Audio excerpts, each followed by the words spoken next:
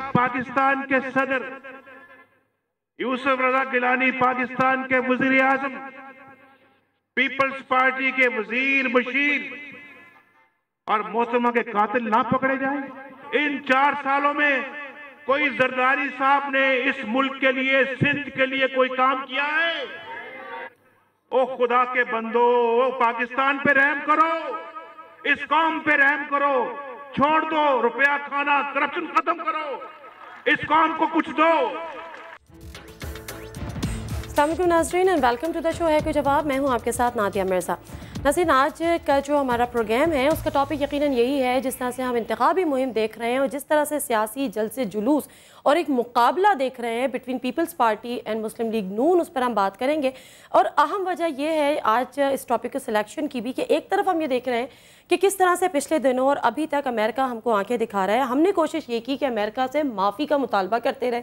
किसी तरह अमेरिका माफ़ी मांग ले और फिर फाइनली ये हुआ कि माफ़ी तो नहीं मिली, बल्कि लेने के देने पड़ गए और यहाँ तक कि जब पानी सर से ऊँचा होने लगा और ये जब महसूस होने लगा कि अब तो शिकागो कॉन्फ्रेंस में दावत भी मौसू नहीं हो रही तो फिर हमने फौरी तौर पे जिस तरह से होता है यू टर्न लिया।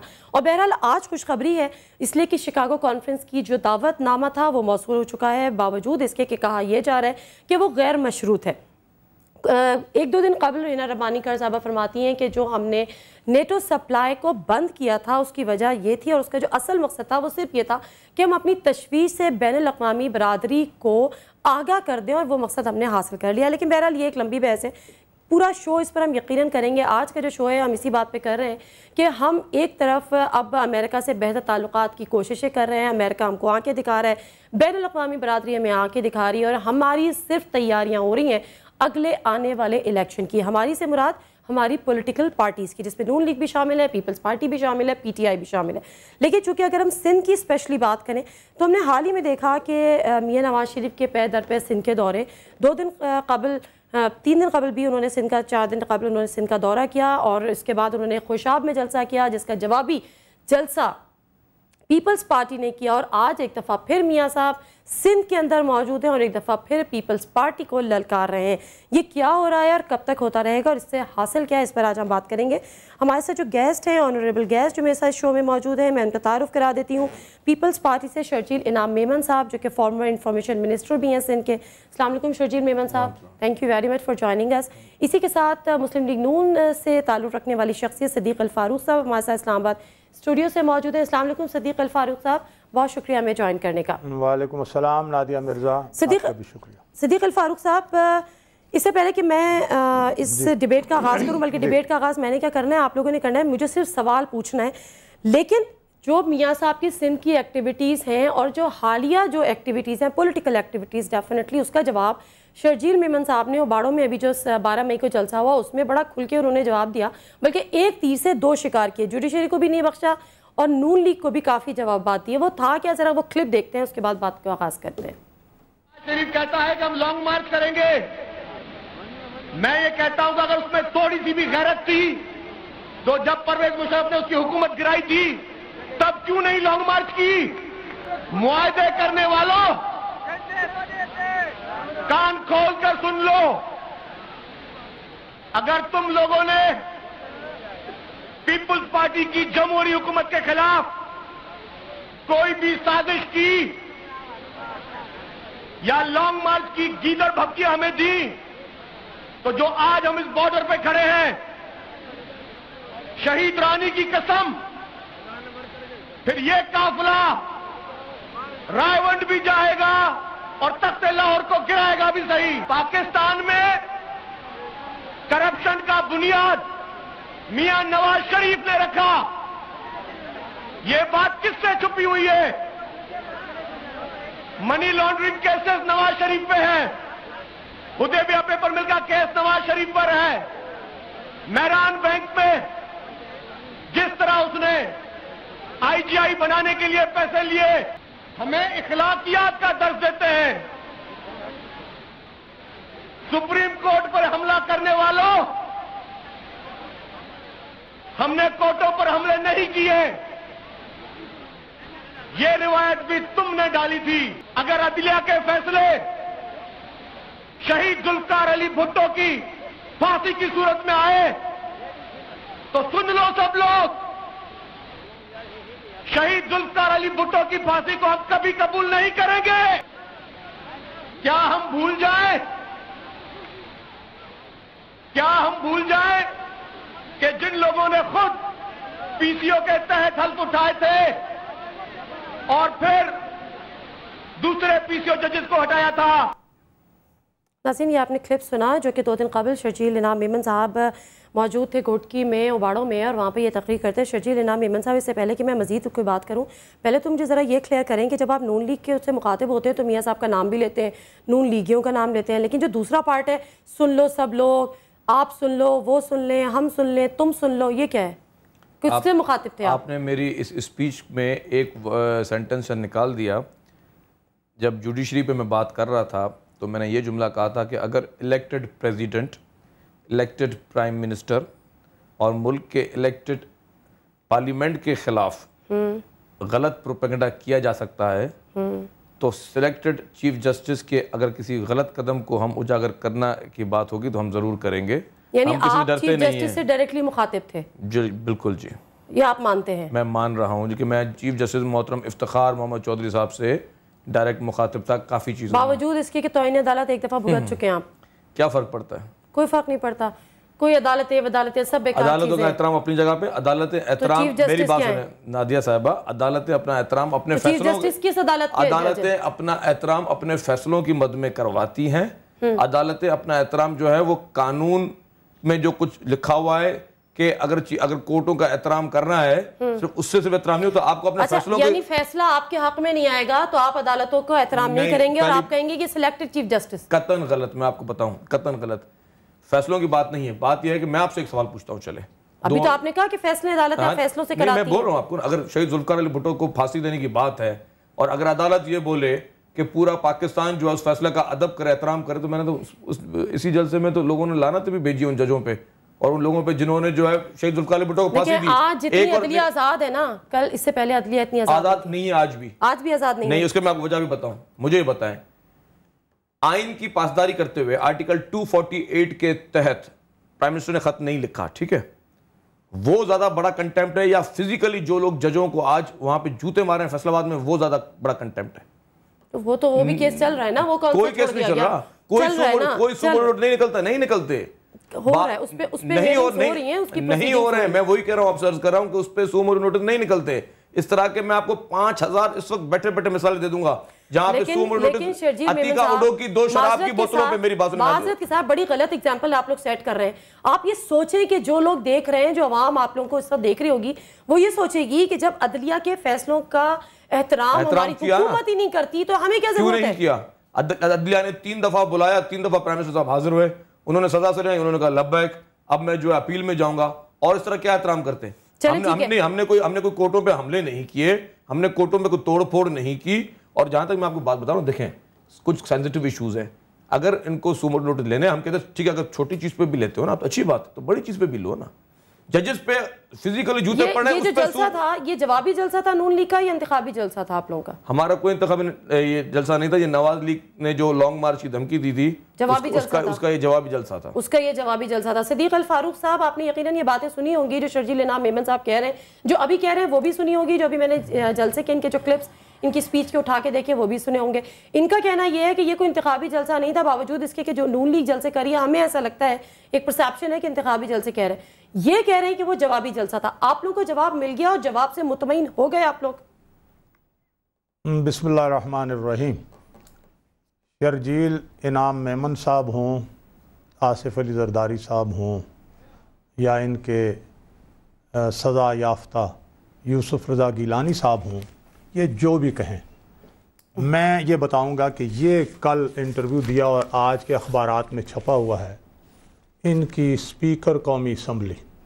उन्होंने कहा है कि कि आइन की तशरी का इख्तियार सिर्फ़ सुप्रीम कोर्ट को है और वज़ी अजम को ये नहीं कहना चाहिए था कि मैं सिर्फ़ स्पीकर कौमी असम्बली का फ़ैसला मानूँगा। ये इनकी speaker custodian of the national assembly ये उसका बयान है।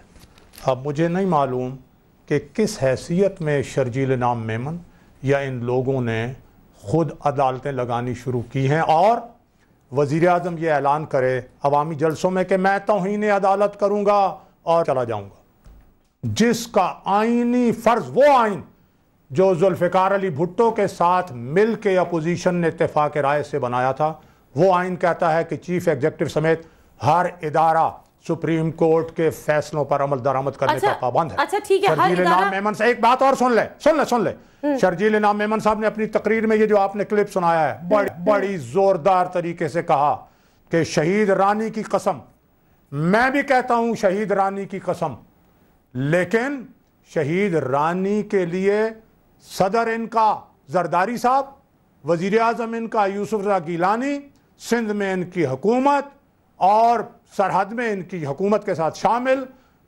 वहाँ बलूचिस्तान में ये शामिल, साढ़े तीन साल हमारे साथ ये शामिल रहे पंजाब में, और ये शहीद रानी के कातिल को जिसको बेनजीर साहबा ने कहा कि अगर मुझे कुछ हुआ तो परवेज मुशर्रफ उसका जिम्मेदार होगा।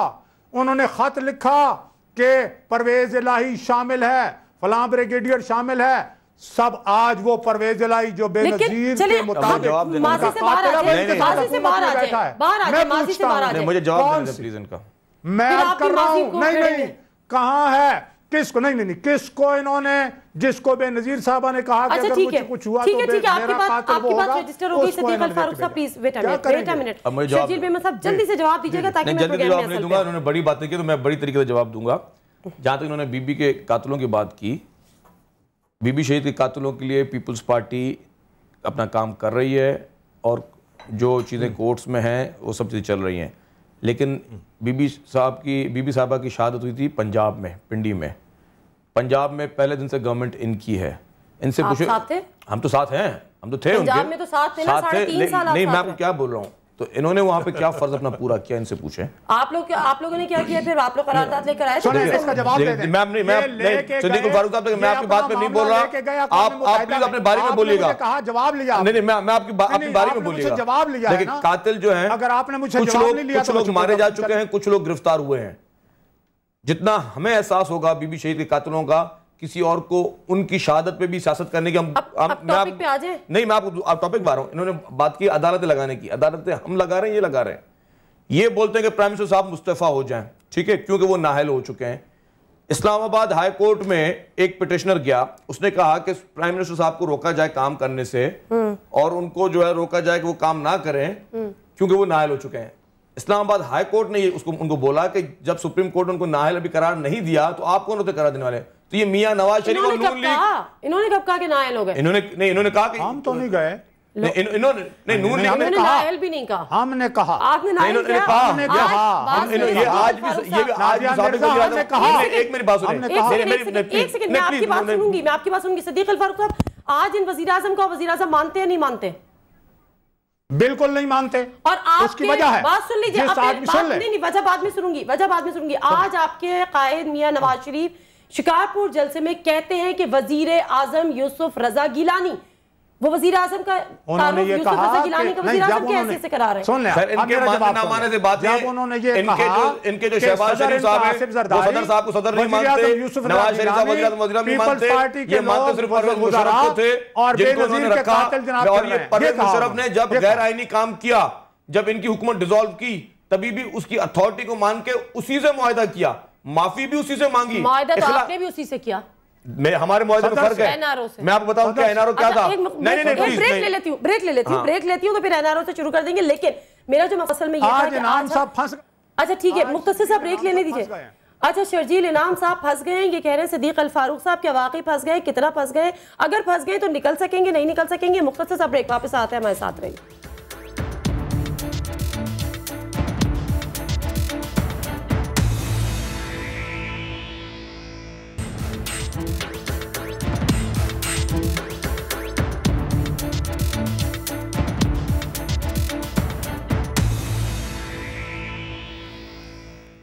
जी Naseeb welcome back to the show है कोई जवाब? और हम ब्रेक पे जाने से कबल जो हम बात कर रहे थे तो जब गुफ्तगु को मैंने समेटने की कोशिश की, उस बात पर कि परवेज़ मुशरफ जैसे सदर से डिक्टेटर से, जो भी आप उनको कहेंगे, नून लीग ने माहे किए, फिर बात पी पी आ गई।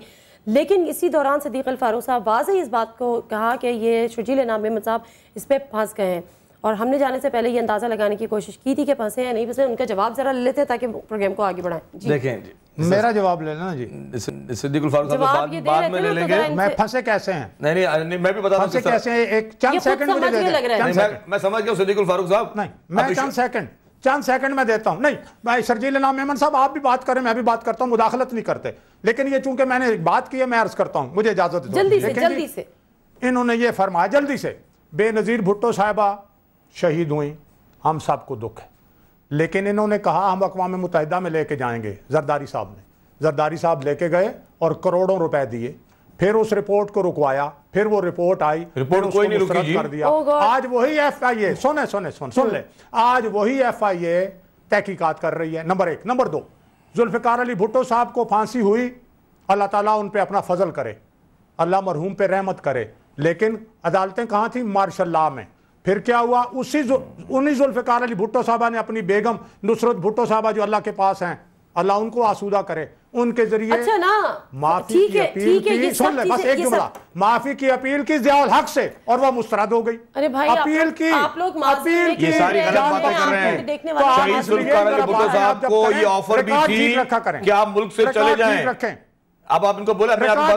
फारूक साहब। कोई ऑफ़र नहीं हुई। थी। कतन ऑफ़र नहीं हुई। शहीद भुट्टो साहब को ऑफ़र थी कि आप मुल्क छोड़ के चले जाएँ। ये बात मोहतरम आसिफ अली जरदारी अब जेल में थे, उनको भी ऑफ़र थी। मौजूद है। वो- कतन कोई ऑफ़र नहीं हुई। ये आपकी ये आप आपकी चिल्लाने से कोई फ़ायदा नहीं है। मैं अपने आप को बचाने के लिए। उन्होंने कहा था कि नहीं माफ़ी की अपील की और मुस्तरद हुई और फांसी दे दी। अच्छा, आप इनको बोले आप खामोश दो मिनट के मैं इनको जवाब दूँ इनका। तो ये बताएँ कि आज बस आप सुन लिया इनके बाद। अब मुझे नादिया साहब मुझे बोलने दें। जल्दी से, अपने नहीं जल्दी तो मैं नहीं बोलूँगा क्योंकि मेरे जो इन्होंने तफसीली बात की मैं वो बात करूँ। पहली बात ये कि शहीद जुल्फकार अली भुट्टो साहब को ये ऑफ़र थी कि आप मुल्क छोड़ के चले जाएँ। उस वक्त जिन ममालिक ने इनके लिए नेगोशिएशन की वो ममालिक हमारे कायद के लिए भी नेगोशिएशन के लिए तैयार थे लेकिन शहीद जुल्फकार अली भुट्टो ने कहा मैं किसी भी सूरत ये मुल्क की सरजमीन नहीं छोड़ूँगा। पहली बात मैं तारीख की और रिकॉर्ड की दुरुस्ती करूँ। मोहतरम आसिफ जरदारी साहब बारह साल जेल में थे।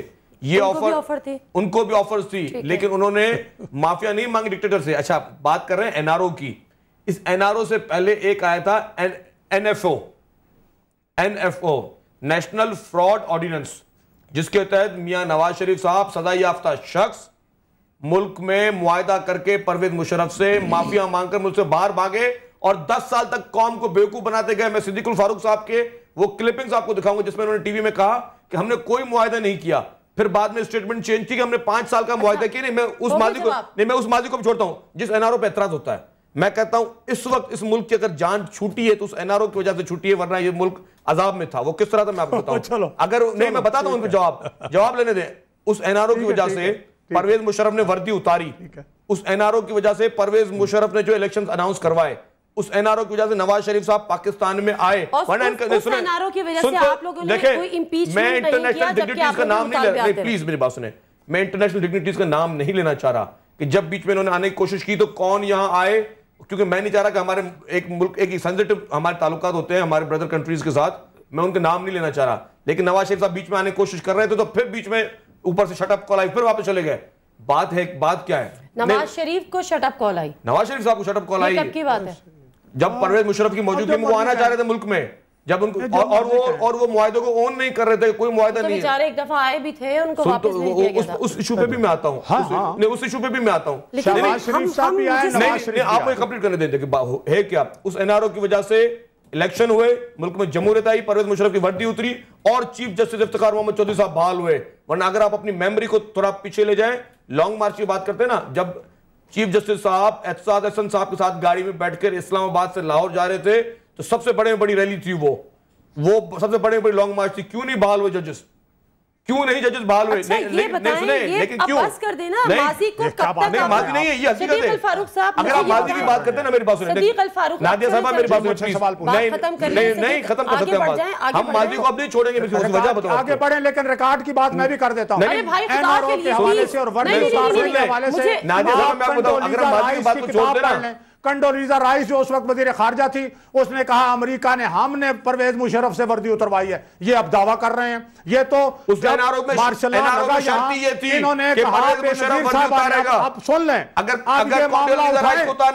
साहब ने लॉ।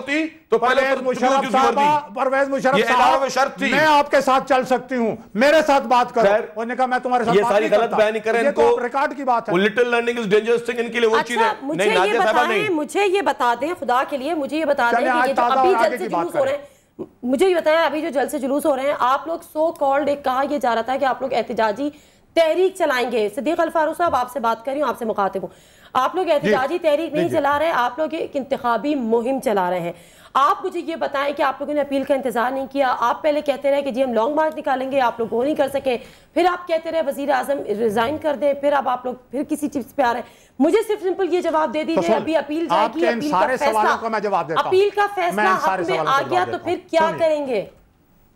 सुन लें हम ये कहते हैं कि यहाँ रूल ऑफ़ लॉ चाहिए हमारे नज़दीक जब एक बंदा कन्विक्ट होता है अगर यूसुफ रजा की तो अदालत पे हमले किए जाते हैं। नज़दीक ना। सुन लेना आप सुन लेकिन इनके नज़दीक अगर मैं बाहर कन्विक्ट हो जाए तो अदालतों पे हमले करने चाहिए।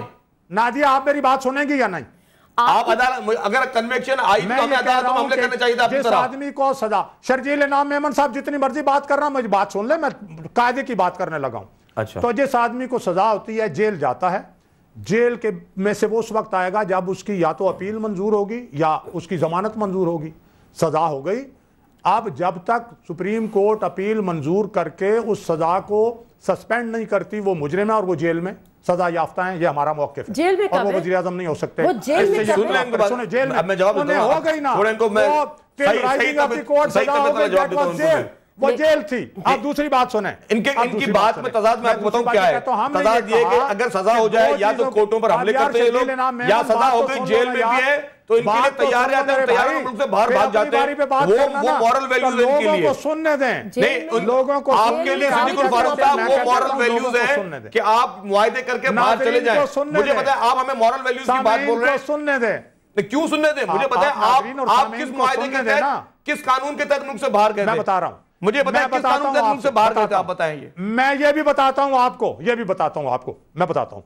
मैं पहले ये अर्ज़ कर रहा हूँ पहले इसके जवाब आप किस कानून बाहर देते हैं। कहा भाई मैं इस, सवाल का जवाब बरह रास्त देता हूँ क्या मुल्क का वो उस को ये सुन ले पहले पहले देता हूँ जवाब तुम पहले देता हूँ जवाब। शासत ना करो। उस आप आइन की कानून की बात करते हैं। मुझे आपने कॉन्स्टिट्यूशन पढ़ा भी है मुझे बताएँ पाकिस्तान का कौन सा आइन कौन सा कॉन्स्टिट्यूशन कहता है कि 10 साल के लिए आप मुल्क में नहीं आ सकते आप शासन नहीं कर सकते आप कोई वहाँ पे पॉलिटिकल एक्टिविटी नहीं कर सकते सवालों का मैं जवाब देता हर सवाल किए हर सवाल टीवी पे 10 दफ़ा दिखा भी चुका हूँ तो मतलब आप कौन से आइन की बात कर रहे हैं? आप वो आइन जो रायवंड तो में बनता है या वो आइन जो 1973 आप चुप हैं। अब आप चुप हैं अब आप चुप होंगे। एक शरीफ आदमी की तरह सुने। बात यह है कि जब एल लगा तो आइन को मुअत्तल कर दिया गया। आइन था ही नहीं। तो इसीलिए आप उस कानून की नवाज़ शरीफ साहब ने तो फिर आप बोलते रहे मैं चुप होता हूँ। अगर आप बोलते हैं तो बोलते रहे। मेरे भाई सिद्दीकुल फारूक मुझसे जवाब लो या बोलो। आप आइन या मुझसे जवाब लें या बोलते रहे आप हमें इखलाकियात सिखा रहे हैं मुझे सिर्फ़ एक बात और मैं सिखा रहा हूँ मेरी बात तो सुनो ना। आइन में कोई ऐसी गुंजाइश है आइन उस वक्त नहीं था। सियासत नहीं ना उस वक्त आइन था। चले जाना और आवाम को जो है डिक्टेटर के हवाले करके चले जाना। आदमी की तरह नहीं चुप करोगे तो मैं क्या कह सकता हूँ? आप लोग हाई मोरल ग्राउंड्स पे लड़ रहे हैं हाई मोरल ग्राउंड्स हमारे इनके हाई मोरल ग्राउंड्स हैं हाई मोरल ग्राउंड्स पे बात कर रहे नहीं किसी के लिए भी नहीं है। माजरत के साथ किसी के लिए नहीं है किसी पार्टी के लिए पार्टी में कोई एक भी इस तरह की बात नहीं कर सकते हाई मोरल ग्राउंड्स हैं। तभी तभी हाई मोरल ग्राउंड्स से प्राइम मिनिस्टर मुल्क का मुल्क का इलेक्टेड प्राइम मिनिस्टर मेरी बात सुने। तीन दफ़ा कोर्ट में पेश हुआ मुल्क का इलेक्टेड प्राइम मिनिस्टर जो है सदा सुन के चुप करके आ गया अदालतों में हमले नहीं किए। ये हाई मॉरल ग्राउंड है। आप लोग आपने अदालत पर हमला नहीं किया। जुल्फिकार अली भुट्टो ने सांगढ़ की सांगढ़ के सेशन जज को अदालत में कुर्सी पर बैठे कोई सी बात नहीं मैं आपको बताऊँ।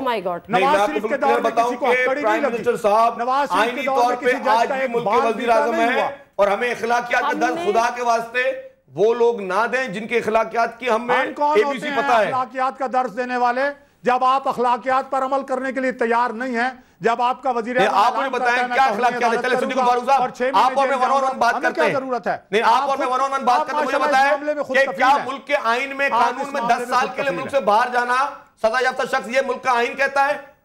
क्या मुल्क का आइन कहता है कि आप दस साल तक सियासत नहीं करोगे? क्या मुल्क का आइन कहता है आप दस साल तक बाहर मुल्क में बैठे रहोगे? वहाँ कारोबार करोगे इंडस्ट्रीज़ लगाओगे? इसमें अपनी फतह शर्जील समझते मेमन हो साहब मेरी बात सुनिए बोलते एक रहो सेकंड। बोलते रहो एक सेकंड शर्जील मेमन साहब अगर आप आयन आइन की बात कर रहे हैं तो आइन ने डिस्कालीफाई नहीं किया है वज़ीर आज़म को ये बात तो अदालतों से प्रूव हो चुकी है। बात अब हो गई अगर हाई मोरल ग्राउंड्स की हाई मोरल के ग्राउंड्स जो है वो सिर्फ़ ये नहीं पूछ रहे ये ऑपोजिशन है इनका डेफिनेटली इनका राइट है कि ये इस पे बात करें मीडिया का राइट है इस पे बात करें और आप लोगों का राइट है कि आप अपने आप को लोगों को मीडिया सही बात नहीं करती। मीडिया आप लोगों को लगता है कि पाकिस्तान की मीडिया सही बात नहीं करती। आप पूछे आप देखिए वो हाई मोरल ग्राउंड्स की बात मैं जो बात कहता हूँ उसके पीछे मंतक होती है मैं आपको मंतक हाई प्रूव मोरल करता हूँ आपको। की बात आज सीएनएन भी कर रहा है। ये सवाल वज़ीर आज़म से सीएनएन के इंटरव्यू में किया जा रहा है। तो आप वहाँ पे कोई तो जवाब नहीं। अब आप कह दीजिए कि वहाँ पे भी गलत है। नहीं आप सीएनएन का कानून मानेंगे या मुल्क का मानेंगे ये मुझे मैं बताओ ये कोई कानून थोड़ी है भाई। आप सीएनएन की बात ना करें ना, आप नहीं आप पाकिस्तानी मीडिया आपको पता है चले अगर आप फ़ौरन मिसाल देते ना मैं आपको भी दो एग्जांपल्स देता हूँ। पर आप अगर आप डालो, फ़ौरन मिसाल देते हैं तो सजा याफ्ता वज़ीर आज़म इंदिरा गांधी उसको पार्लियामेंट में सजा माफ़ कर दी। टर्की के वज़ीर आज़म की सजा उनके पार्लियामेंट में मना तो की फिर इजाज़त दो बात आपके खिलाफ तो शर्जील मेमन साहब बात तो अखलाकी है कि मुझसे के सवाल लिए नहीं आप मेरी बात आप बात सुनिए आप अगर मुझे सीएनएन अखलाकी के बेटे कोई नहीं। देंगी तो मैं आपको मिसाल दे सकता हूँ कि Indira Gandhi please let me complete Indira Gandhi उनको कन्विक्शन हुई 1975 में इलाहाबाद कोर्ट से पार्लियामेंट ने उनकी सजा माफ़ की। टर्की के प्राइम मिनिस्टर पार्लियामेंट ने उनकी सजा माफ़ की नहीं, अब तो फिर हमें है? नहीं तो आप हमें ये भी पावर दे दो हम पार्लियामेंट की आइन सजा है। ठीक है, मैं हैं। वो लेने दे। इंडिया का आइन है ठीक है ब्रेक लेने आइन दीजिए नहीं है ब्रेक आपका आइन ये के है आइन के जो रायवंड का आइन है वो ये है कि 10 साल के लिए आपको सजा भी हो जाए नवाब शाह का आइन भी नहीं है 10 साल के ये लिए माफ़ी मांगो और नवाब शाह का आएँगे बार-बार ब्रेक की बात आ रही है। के घर की लौंडी है ये। हाथों अवाम को आइन छोड़ इसका देंगे हल कुछ नहीं है भाई मैं के प्रोड्यूसर डायरेक्टर आप लोग ब्रेक ले लें ब्रेक से वापस आते हैं तो प्रोग्राम को यहीं सेंगे मुख्तसर सा ब्रेक नाजरीन वापस आते हैं।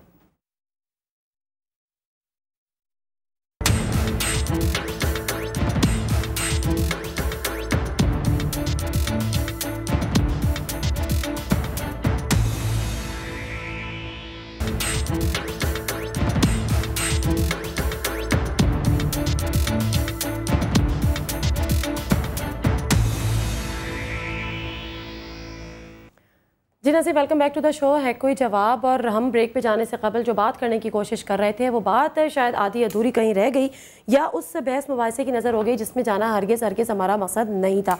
बात ये हो रही थी कि अदालती फैसला आया और उसके बाद नून लीग ने ऐलान ये किया कि अब वो बाकायदा तौर पर एक एहतजाजी तहरीक चलाएगी। और हमने ये भी देखा कि नून लीग की जानब से हंगामी प्रेस कॉन्फ्रेंस भी की मियाँ साहब ने, जिसमें उन्होंने कहा कि वो लॉन्ग मार्च का ऐलान करेंगे। फिर एक इमरान खान की जानब से एक प्रेस कॉन्फ्रेंस हुई, लेकिन बहरहाल उन्होंने ये कहा कि हम सुनामी मार्च का ऐलान करेंगे। हुआ कुछ भी नहीं, देख ही रहे हैं कि इंतखाबी मुहिम जारी है इंतखाबी जलसे जुलूस हो रहे हैं। इससे हासिल क्या हो रहा है हमें ये बात समझ में नहीं आ रही। का जवाब मैं देता हूँ। इन सवालों का जवाब मैं देना चाहता हूँ जो आपने तीन सवाल किए हैं बड़े आराम से। जी। बात यह है कि नवाज़ शरीफ साहब ने जब ये बात इसका ऐलान किया तो उन्होंने कहा कि हम ग्राउंड हमवार करेंगे बुनियादी तौर पर हमारा लॉन्ग मार्च होगा रूल ऑफ़ लॉ के लिए और करप्शन के खात्मे के लिए। और उसके लिए तो इसमें फिर नई बात क्या थी? फिर आपको साढ़े चार साल इंतज़ार क्यों करा आपने? रूल ऑफ़ लॉ और करप्शन का खात्मे के? लिए आप लोग साढ़े चार साल इंतज़ार करते रहे। किस बात का? देखिए तो वज़ीर आज़म हटाने के लिए लॉन्ग मार्च करनी पहली लॉन्ग मार्च तो वो पंजाब गवर्नमेंट के खिलाफ कर हैं अगर मेरे- मैं सवाल का जवाब दूँगा या ये देंगे? सदीक अल साहब मेरी बात सुने। जनाब आपने अगर सिर्फ़ करप्शन के खात्मे के लिए लॉन्ग मार्च का तो पहले पंजाब में करें। नहीं पहले लैपटॉप पे करें। पहले सस्ते आप करप्शन खत्म करें। हमने अरे देखे ये अब इनके पास साढ़े चार बात साल नहीं बाद है इन्होंने आपको बात ये याद आया कि करप्शन खत्म टाइम। मैं जल्दी। साढ़े चार साल बाद आपको ये करना था कि वज़ीर आज़म को हटाना था आप लोगों ने? इससे इससे बड़ी करप्शन नहीं हो सकती कि आईनी सारे इनके पर अमल न किया जाए। इससे बड़ी करप्शन जितनी स्कीम्स मेरा ख्याल है ये बात ये तो बात नहीं करने देंगे मैं तीन बातें करता हूँ। इन्होंने ये कहा कि जनाब जुल्फकार अली भुट्टो को ऑफ़र हुई थी कि बाहर जाएँ। अरे लीबिया ने ये कहा मैं माजरत के साथ, सिद्दीक अल फारूक साहब, कर दें। मत नहीं करने देनी इन्होंने मुझे बात नहीं करने देनी इसलिए मैं कहता हूँ। लेकिन जियाउल हक ने कहा कि मैंने बिल्कुल हवाले नहीं करना। इसी वजह से लिबिया के आपके सियासी कायद हैं जियाउल हक, इसलिए आप उसकी हिमायत आज भी कर रहे हैं। इसी वजह से हथौड़ा ग्रुप बना। आप इसी मुझे वजह बताएँ, से सियासी कायद आपके आज भी जियाउल हक है, तभी आप उसकी बात की हिमायत कर रहे इसी वजह से पाकिस्तान में कत्ल हुआ। आप हिस्ट्री में आज भी जियाउल हक की बात कर रहे हैं। जो आइन के खिलाफ होगा हम उसके साथ नहीं हैं। दूसरी बात। इन्होंने ये कहा कि मुझे आइन ना सिखाओ इन्होंने ये कहा कि जज जो हैं वो सिलेक्टेड हैं और वजी अजम इलेक्टेड है। और आइन में जजों का तकर मौजूद है कि किस तरह तकर होना है। एक सेकंड रुकिए ना। सदीक फारूक साहब मुझे ये बताएँ मुझे ये बताएँ। जज का हमने मुझे ये बताएँ कि हम लोग जो हमें सिलेक्ट करना है ना जज हमें इलेक्ट जज होगा शर्जील साहब एक सेकंड आइन के मुताबिक होगा। शर्जील साहब एक सेकंड आपका आइन आपका रायवंड वाला आइन वो जो बोलता है दस साल के शासन करो। जज वोट नहीं लेता जाके लोग आपका वो लाइन जो बोलता दस साल तक आवाम को बोला हमने फ़ायदा नहीं किया। खुदा की कसम अगर ये बात आप न कहते तो मैं समझता कि आप आइन को कुछ समझते हैं। मैं समझता हूँ कि आप आइन की ये भी सी भी नहीं समझते जो बंदा ये बात कहे कि जज जो है वो सिलेक्टेड है और हम इलेक्टेड हैं और उसे आइन का ना पता होता वो ये बात कहता है। आप आइन के हवाले से फॉलो करता हूँ। आपकी तुला आप वाले आइन को फॉलो नहीं करता। जिसमें दस साल के लिए कौम को बेवकूफ़ बनाकर मुआवजे करके चले जाओ। परवेज के पैरों पे माफ़ी मांग के चले जाओ। ऐसे आइन को हम नहीं मानते। हमारी पार्टी ने कुर्बानियाँ देश मुल्क के लिए। नहीं मेरी बात एक मिनट। हमारे हमारे मुल्क ने माफिया मांग के हमारे पार्टी ने इस मुल्क में कुर्बानियाँ दी है जानों की। आपके किसी एक कारकुन का नाम तो बता दो कहीं शहीद हुआ हो। हमारे पास सौदा की हिस्ट्री है जमहूरियत के लिए है। आवाम के लिए पब्लिक के लिए आपके पास सिर्फ़ भागने की हिस्ट्री है। मुल्क से भागने की हिस्ट्री है चोरी की हिस्ट्री है डाकुओं की हिस्ट्री है सारी हिस्ट्री आपके पास आती है। मुझे आप ये बताएँ सिद्दीकुल फारूक साहब कब्रों के अलावा अदलिया पे हमले आप करो इन तीन कब्रों के आप करो माफिया आप मांगो किस किस मॉरल वैल्यू की बात करते हो? क्या है? कोई किस मॉरल वैल्यू की बात करते हो? इसी विकीलीक्स ने लिखा था शहबाज शरीफ ने आप तीन अरब एम्बेसडर को बोला कि चौधरी इफ्तिखार कुछ दिन के लिए बाहर कर दो फिर वाले छोड़ देना। आपके सारे करतूत पार्टी के सबके सामने किस चीज़ की बात करते हो किलो हो गई है। आपके पास क्या कारकर्दगी है कारकर्दगी बताओ? कबरों के अलावा बताओ। कारकर्दगी मैं बताऊँ? सस्ती, सस्ती सस्ती रोटी में पैसे कमाए? कारकर्दगी ये है कि डेंगू के नाम स्प्रे के नाम पे पैसे कमाए? कारकर्दगी ये है कि हमजा शहबाज जो है उसके पोल्ट्री फॉर्म का जो बराबर का मालिक है वो लैपटॉप का कॉन्ट्रैक्ट कर रहा है। और जिस डिपार्टमेंट को करना चाहिए था वो नहीं करा। एक अरब अठहत्तर करोड़ में करप्शन की हमदा शहबाज उसमें। हो चुकी है। आपका डिफेक्टो चीफ मिनिस्टर पंजाब में हमदा शहबाज बैठा हुआ ये कारकर्दगी। ये कारकर्दगी आपकी। और दूसरी कारकर्दगी बताओ आपको। सिर्फ़ पेपर मिलकर जो केस है आपके मनी लॉन्ड्रिंग के केसेस है मनी लॉन्ड्रिंग केसेस में साक्षर लिख क्या है। खुदा के बंदो नवाज़ शरीफ आज भी पाँच अरब रुपए का टैक्स डिफॉल्टर है। ये कारकर्दगी आपकी खानदान का एमसीबी की प्राइवेटाइजेशन में जितना आपने नोट कमाया वो कारकर्दगी आपकी। कोई साहब और पाकिस्तान में करप्शन की बुनियाद गवर्नेंस आपने गॉड अब प्लीज़ बस कर दीजिएगा किसी सवाल का जवाब ये बंदा नहीं देने देता। अच्छा इसलिए इन्हें पता है सवालों का मैं जवाब दूँगा इनके पास भाई मैं आप आपके जवाब आपकी सियासत हमें पता है। मुझे पता आपकी सियासत है क्या? आपने पहले आपने हम पे तो बड़ी बातें कर ली। काफली की काफली काफली बात काफली के आधे लोटे आपने मिसा की जमहूरत की बात करते मिसा की जमहूरत में यह ये लिखा हुआ है मिसा की जमहूरत में कि कोई पार्टी किसी पार्टी दूसरी पार्टी के मेंबर्स नहीं तोड़ेगी आपने काफ लिख के लोटे अपने पास जमा किए। कल आप लोगों ने जो है फिर आप हमें सारे दे रहे के लोगों के साथ बैठने पे। आपने कल खुद हम ख्याल ग्रुप का साइन किए बैठकर। आप खुले आपकी सियासत में सिर्फ़ मुनाफत और कोई चीज़ नहीं है। वज़ीर आज़म कहता है मैं मुझे रुकिए जरा तौहीन करूँगा। अभी आप कुछ नहीं कहते हो कि मैं तौहीन करूँगा आप मेरी बात सुने अब मेरी जरा मेरी बात सुनिए अब सवाल करें मैं जवाब देता हूँ अब मेरी बात सुने। आप इस बात को आप लोग मानते हैं कि वज़ीर आज़म नाअहल हो चुके हैं वज़ीर आज़म को हम नहीं मानते। लेकिन इस बात से भी हाँ। क्या आप मुतफिक हैं कि बहरहाल जो फैसला आया है उसमें कोई क्लैरिटी एज सच ये नहीं है कि ये जो वज़ीर आज़म है ये एम एन शिप से अब डिसक्वालीफाई करते हैं। उन्होंने मामला स्पीकर पे छोड़ दिया। है। ठीक है? आप तो मुझे इजाज़त है मैं जवाब नहीं नहीं पहले आपका सवाल। अब मुझे ये बताएँ कि आप लोग एक सेकंड आप लोग बात अब सिर्फ़ आईन और कानून की फैसले की करते हैं या सिर्फ़ हाई मोरल ग्राउंड पे इस्तीफा लेने के लिए आप लोग ज़ोर कर रहे हैं? मैं सिर्फ़ एक सवाल पूछ लूँ? नहीं नहीं सिद्दीक फारूक साहब मेरे एक सवाल का आपका सवाल मैं ऐड कर रहा हूँ। नहीं नहीं रुक जाए अब आप मैं सवाल नहीं आपके ऐड करने की ज़रूरत नहीं है यार जरा चुप करके बैठो।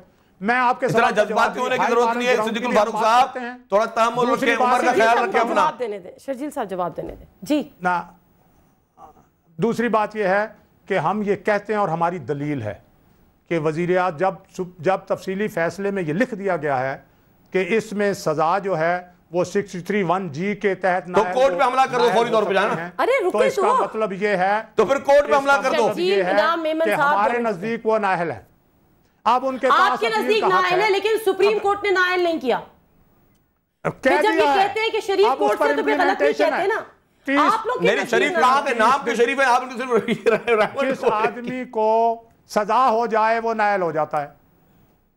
ये तो आपकी। इंटरप्रिटेशन है ना। ये आपकी इंटरप्रिटेशन है ना। फैसले में तो नहीं लिखा ना कि वो नायल हो गए। दो बातें हम कहते हैं। फैसलों में इस तरह से सुप्रीम कोर्ट ने नहीं सुप्रीम कोर्ट ने फैसला भेज दिया है। इलेक्शन कमीशन के पास भी चला गया स्पीकर के पास भी चला गया। और ये देखें स्पीकर ने भी ये कह दिया है कि मेरे पास आपका वैलिड है इसकी तरह बताएँ। आपकी तो स्पीकर कह रही है जी वज़ीर आज़म को ऐसा कहना ही नहीं चाहिए था। बात यही है हाँ। कि मैं वही बात कहता हूँ कि सिद्दीकुल फारूक साहब की अकल को मैं सलाम करता हूँ। नहीं इनकी अकल को बाद में सलाम हामिद मीर साहब का इंटरव्यू था उसको इनको बोले दोबारा देख लें। उन्होंने अगर ये एक दफ़ा भी कहा कि वज़ीर आज़म को ऐसा ना कहना था मैं अभी यहाँ से सब चीज़ें छोड़ के चला जाता हूँ। क्या है आपके पास?